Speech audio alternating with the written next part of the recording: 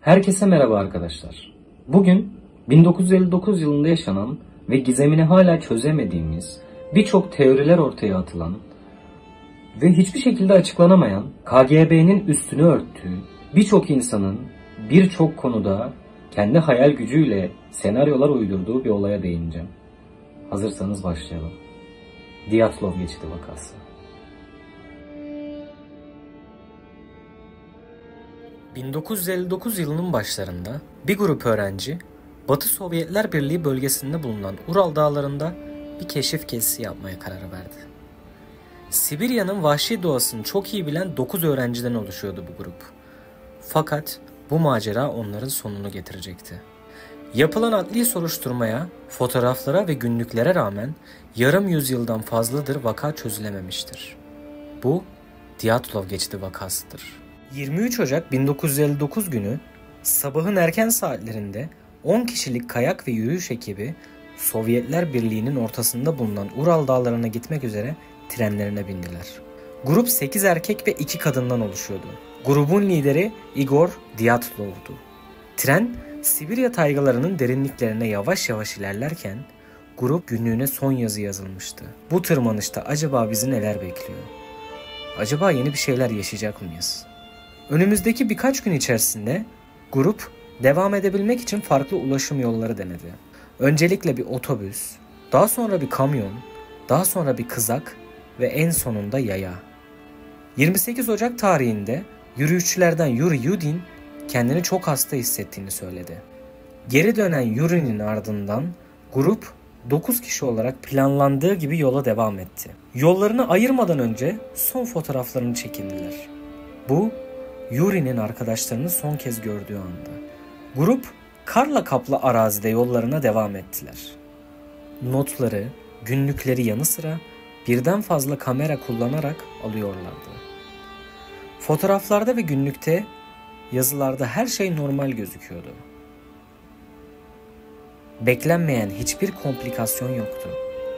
Sadece olabildiğince kar, acı bir soğuk ve giderek ilerlemenin zorlaştığı bir arazi. 1 Şubat'ta Mansi yerlileri tarafından Ölüm Dağı olarak bilinen yere ulaşmışlardı. Bulundukları bölgede Mansi kabilesi denilen bir topluluk vardı. Aslında bulundukları Ural Dağları bölgesinde doğru dürüst yerleşke yoktu. Sadece bu kabile, bu topluluk vardı. Bu toplulukla ilgili birçok söylenti de bulunuyordu tabii ki. Özellikle böyle olaylar yayıldıktan sonra bu olayın patlak vermesi sonucunda birçok kaynak, birçok insan belki inanmak istediler, belki bir sonuca bağlamak istediler ve Mansi kabilesinin yamyam olduğunu düşündüler. Ama ben hiçbir kaynakta net bir şekilde böyle bir vakaya rastlamadım. Yabancı kaynaklardan ve yerli kaynaklardan birçok yerden araştırdım ancak böyle bir şey duymadım, görmedim. Tabii ki insanlar e, bazı şeylerde sonuca ulaşamayınca farklı şekilde hayal gücüyle bir şeyler üretip bunu gerçek olarak görüyor, gösteriyor, göstermeye çalışıyor. Günün en iyi saatlerinde yamaçtan tırmandılar ve en sonunda kamp kurmaya karar verdiler. Kurdukları kamp zirveden sadece birkaç yüz metre aşağıdaydı. Kurtarılan kameralarda bulunan son görüntüler Menot'un son cümlesi ise şu şekildeydi. Bir sırtta böyle bir konfor hayal etmek zordur. Tırmanırken çıkan tiz rüzgarın sesi ve insan yerleşiminden yüzlerce kilometre uzakta olmak. Kimse Igor ya da grubun diğer üyelerinden haber alamamıştı. Birkaç hafta sonra yakınları ve arkadaşları grup için endişelenmeye başladılar. Uzun tartışmalardan sonra gönüllü bir ekip onları bulmak için yola koyuldu. 26 Şubat'ta arama ekibi nihayet yamaçtaki kamp alanına ulaştı. Fakat burada bir şeyler korkunç bir şekilde ters gitmiş gibi gözüküyordu. Çadır dağılmış, üzeri ise ince bir kar tabakası ile kaplanmıştı. Tırmanıcıların eşya ve ekipmanları çadır içinde düzenli bir şekilde duruyordu fakat çadır içeriden bir bıçakla açılmıştı. Ertesi gün arama ekibi yamaçta giden 9 çift ayak izine rastladılar. Ayak izlerinin karın içinde soldan hafif girintili olması göz önüne alınınca paniğe kapılma gibi bir durumun olmadığı anlaşılıyordu. Sakin ve düzgün bir şekilde yol alınmıştı. Ayak izleri çadırdan yarım kilometre uzağa kadar izlenebiliyordu. Bundan sonraki kısım ise tamamen karla kaplıydı.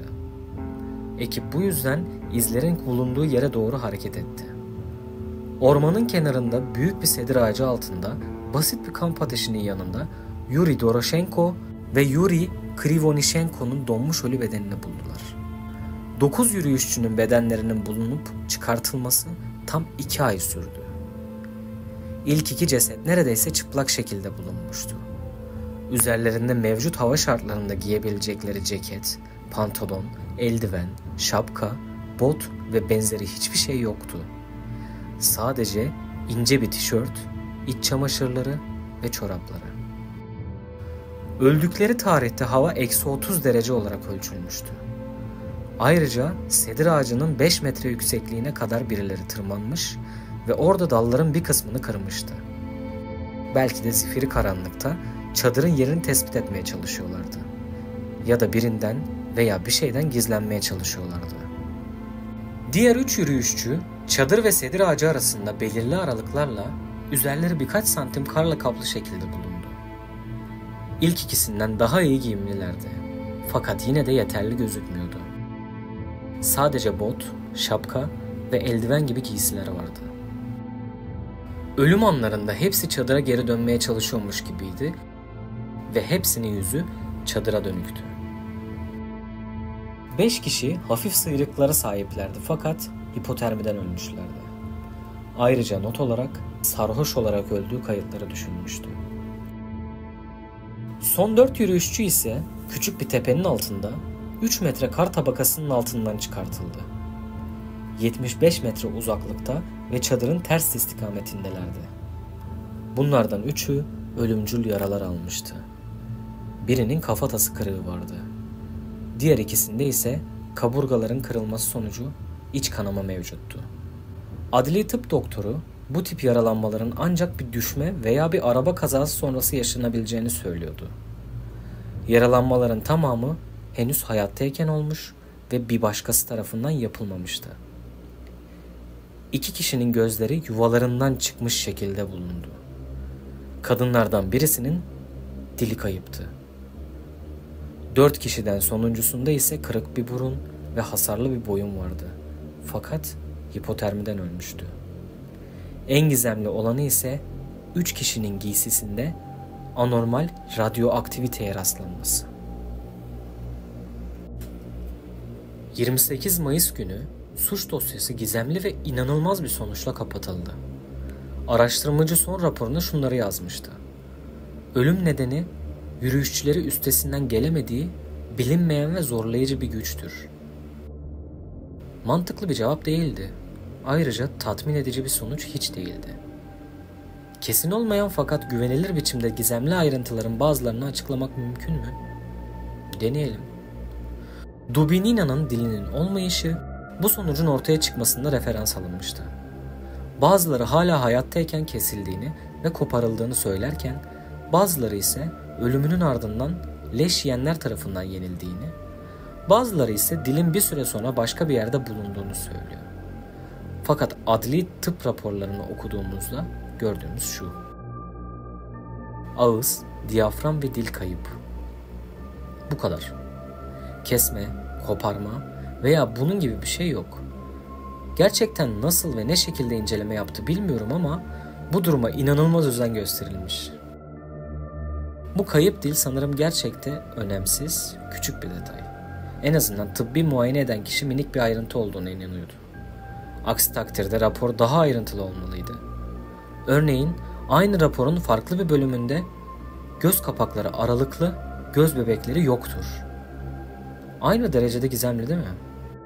Tabii ki hayır. Tıbbi muayeneyi yapan kişi her ikisi için de bir açıklama getiriyor. Kafatasında bulunan yumuşak doku yaralanmaları ve ölüm öncesi değişiklikler. Dubinina'nın cesedinin suya temas etmesi sonucunda bulunmadan önce ortaya çıkmıştır. Hatta ekliyor. Çürüme ve ayrışma. Ne demek istediğinin net anlaşılması için bu sadece Dubinina'ya özel bir durum değildi. Bulunan son dört ceset de eriyen kar sebebiyle hasar görmüştü. Şimdi dilin hala hayattayken çıkarılmış olması gerektiğini iddia eden kişilerin görüşünü inceleyelim.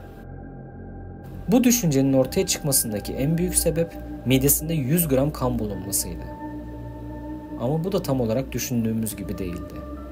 Adli muayene raporunda ilgili kısım mide 100 santimetre küp kadar koyu kırmızı sümüklü bir kitle içeriyordu. Yaklaşık 10 santim bir şey kırmızı bir şeye karıştı. Muhtemelen kan ve muhtemelen yiyecek. Bu yüzden midesinde ne kadar kan olduğunu bilmiyoruz. Sadece orada kan olduğunu biliyoruz. Ayrıca büyük bir iç kanamadan müzdarip olduğu için bu garip bir durum değil.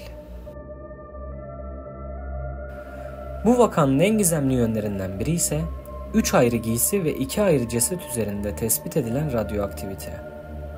Gerçekten de biraz gizemli geliyor ama unutmamamız gereken bir şey var. Hemen hemen her şey hafif derecede radyoaktivite içerir.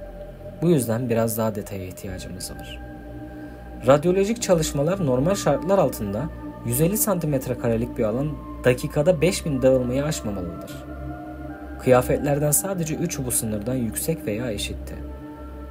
Raporda bu konuyla ilgili yapılan tek açıklama ise giysilerde atmosferde bulunan radyoaktif tozlar bulaşmış olabilir. Giysiler radyoaktif maddelerle temas ettiğinde bulaşmaya açıktı. Diğer bir deyişle bu işlemin nasıl olduğunu açıklayamıyorlardı. Ancak bu doğal işlemlerin bir sonucu olabileceğine inanmak anlamına gelmiyor. Ama her ihtimale karşı bu durumun giysilerden kaynaklanabileceği alternatif bir açıklama olabilir. Kolevatov daha önce nükleer materyaller geliştiren bir tesiste çalışmıştı. Krivonishenko ise nükleer silahlar için çok gizli plütonyum üretimi yapan bir tesiste çalışmıştı. Ve 3 radyoaktivite tespit edilen giysi de Yuri Doroshenko ve Krivonishenko'ya aitti. Yürüyüşçüler kaybolduğunda çok sayıda kaynak UFO görüldüğünü iddia etti. Bu yıllarda özellikle Rusya ve Amerika başta olmak üzere UFO ile ilgili çok fazla söylentiler çıkmaya başlamıştı. Birçok kaynaktan, birçok vatandaştan, birçok yerliden, hatta jeologlardan, bilim insanlarından bile birçok insan UFO gördüğünü belirtti, söyledi, iddia etti. Ancak tabii ki bunlar her zaman iddia olarak kaldı. Yani belirli bir UFO'yu bulup önümüze getiremediler. Tıpkı şu anda olduğu gibi aslında. Ama bu belirsizliklerin başlangıç noktası tam da o zamanlarda başlıyor. Çünkü Rusya ve Amerika uzay yarışında da çok rekabet halindeydiler. O dönemde uzay araştırmaları daha yeni yeni başlıyordu ve Amerika ve Rusya'nın gerçek bir savaşı vardı. Yani araştırma savaşı vardı. Bu sebeple de iki ülkenin vatandaşları, bilim insanları fazlasıyla uzayla ilgili, UFO ile ilgili, uzaylılarla ilgili birçok söylenti yaymaya çalışıyorlardı. Böyle gizemli olaylarda da tabii ki UFO görüldü, uzaylılar yaptı denildi. Çünkü yeryüzünde insanlar gizemi her zaman sever. İnsanlar her zaman çok meraklıdır. Ama o merak ve gizem tabii ki en azından şimdilik böyle sonuçlanmıyor. Bu durum 3 asker ve 2 farklı yürüyüş grubu tarafından bildirildi. Bazı tanıklar ayrıca yerli Mansi topluluğunun yanı sıra bir grup jeoloğun olay anında gökyüzünde ateş topu izlediklerini söylediğini iddia ettiler. UFO vakaları ile ilgili genel problem sonuç olarak tanımlanamamış ve çoğunlukla doğrulanamamalarıdır. Olay olduğu gece UFO görüldüğünü bildiren sadece bir grup bulunmaktaydı. Diğerleri ise önce ve sonraydı. Soğuk Savaş'ın yanı sıra uzay yarışında önemli bir yere sahip olması dolayısıyla burada birçok hava etkinliği olabilir. Uzay araştırmaları o dönemde fazlasıyla tazeydi. Peki ne oldu? Neden çadırı terk ettiler? Neden kesik içeriden yapıldı? Diğerleri soğuğa yenik düşerken bu kadar büyük yaralanmalara sahip olanlar nasıl mücadeleyi sürdürdü? Neden bu kadar çıplak kişi var? Bence en büyük gizem bol miktarda bilgi verilmesine rağmen hala gizemli kalması. Bu ayın büyük bir bölümünde Dyatlov geçidi vakası ve KGB'nin olayı örtbas etmesi hakkında yerli ve yabancı onlarca kaynaktan araştırma yaparak fazlaca materyal okuduktan sonra en güvenilir açıklamanın basit bir çığ kazası olduğuna inanıyorum. Her şeyden önce Neden çadırdan ayrıldılar? Bulmacanın en önemli parçası bu gibi gözüküyor. Terk etmelerine sebep olan şeyin çadırın içinde oluşan bir tehdit olması gerekliydi. Örneğin dışarıdan bir UFO veya hayvan olduğunu düşünelim. Çadırı kesmeleri için hiçbir sebep olmazdı. Çığ olduğuna dair hiçbir işaret olmamasına rağmen çığın onlara doğru geldiğine inanıp kaçmış olabilirler. Bu teori ile ilgili sorun ayak izlerinin onların sakin ve düzgün bir şekilde yürüdüklerini göstermesi. Panikle sağa sola kaçmak yerine yamaç aşağı yürümeleri de ayrı bir problem tabii. Yani bir şey çadırın içinde paniklemelerine sebep oldu fakat çıktıklarında sakinleştiler ve bilinçli olarak yamaç aşağı yürümeye başladılar. Şimdi bu fotoğrafa bir göz atın. Çadır girişinin dışına yapılmış bu boru, içerideki ocağın tahliye borusu. Grubun lideri sobayı kendisi inşa ettiği için bu tamamıyla benzersiz ve ev yapımı bir tasarım. Olay gününde ocağı kullandıklarını biliyoruz. Kısmen yenilen kızarmış jambon ve pastırma parçaları çadırın içinde bulunmuş. Tahmin ediyorum ki boruyu çıkardıktan sonra içindeki küller yanlışlıkla tekrar tutuştu. Boru çıkarıldığından dolayı duman çadırı saniyeler içinde doldurdu. Ateşi kontrol altına almaya çalışırken dumanın dışarı çıkmasını sağlamak için çadırın üst kısmında birkaç delik açtılar. Bu işe yaramadı ve çadırın içinde hava almak gittikçe zorlaşmaya başladı. Paniğe kapıldılar ve hepsi panikle dışarı kaçtılar. Bu teoriyi desteklemek için çok fazla kanıt var. Grubun çeşitli üyelerinin hem vücutlarında hem de kıyafetlerinde yanık izleri bulunmuştu. Ama ağacın altında yakılmış olan doğaçlama ateşin bir sonucu da olabilirdi. Ya da ateşi közlemek için kullandıkları sıcak soba metalinden kaynaklanmış da olabilirdi. Bazılarının ağzının etrafında kan da bulundu ve duman solumanın bir belirtisi olarak öksürürken kan gelmesi buna sebep olabilirdi. Tamam, dışarıya çıktılar ve korkunç bir durumu farkına vardılar. Sıfırın altında sıcaklık, barınacak bir yerin olmaması, sadece iç çamaşırın olması ve kar fırtınası ortasında kalmak. Gecenin ve hiçliğin ortasında. Bu noktada bir veya birden fazlasının en basit şekilde sığınak yapabilecekleri bir yere gidebileceklerini düşünüyorum. Yani ormana. Bu kararın nedeni muhtemelen çok yönlüdür. Çadırda çıkan dumana yakın olmak veya dumanın içinde kalmak çadırın alev aldığına inanmalarına neden olmuş olabilir. Bazıları sıcaklığa olan duyarlılıklarının yanı sıra kararlarını etkileyebilecek derecede sarhoştu ve ormanın gerçekte olduğundan çok daha yakın olduğuna inanmışlardı. Nihayet ormana ulaştılar ve hemen ateş yakmak için işe koyuldular. Bazıları ağaca tırmanıyor ve çevresini gözlüyor. Daha düzgün giyinmiş olanlar ise ormanın daha derinliklerine gidiyordu. Ağacın yaklaşık 75 metre ilerisinde 4 kişi hafif bir çığ tetiklediler. Yaklaşık 3 metre derinliğe sahip bir vadinin kenarında dibinde kayalar ve buzlar olduğu için ölümcül yaralanmalar yaşandı. Diğer 5 yürüyüşçüden 3'ü çadırın içine geri dönmeye karar verdiler. Geriye kalan ikisi yavaşça solan bir alevin etrafında donarak öldüler. Bundan sonra tabii ki imkanlar dahilinde biraz daha profesyonel işler yapmaya çalışacağım.